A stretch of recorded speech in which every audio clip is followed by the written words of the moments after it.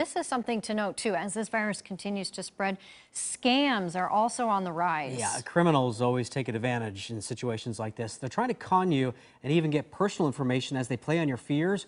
Arvelina Jones is breaking down what you need to watch out for tonight.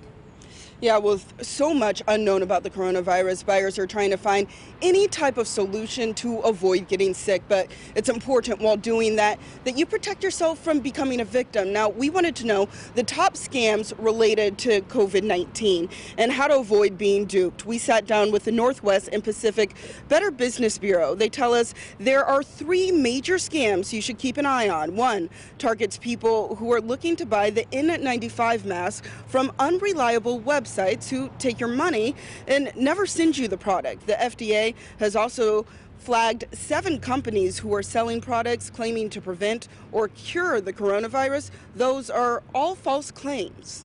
In this context, we are talking about a brand new global pandemic. Nobody knows how to act, therefore, scams can change, scammers can shift their tactics, and we're all kind of just playing our best defense, if you will, uh, to try and not get scammed.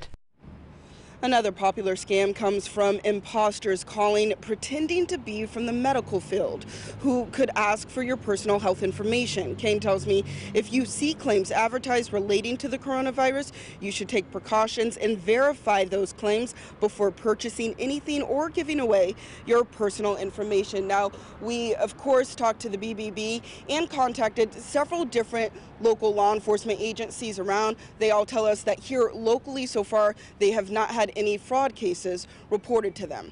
Reporting live in downtown Portland, Valina Jones, KOIN 6 News. Valina, thank you. and thank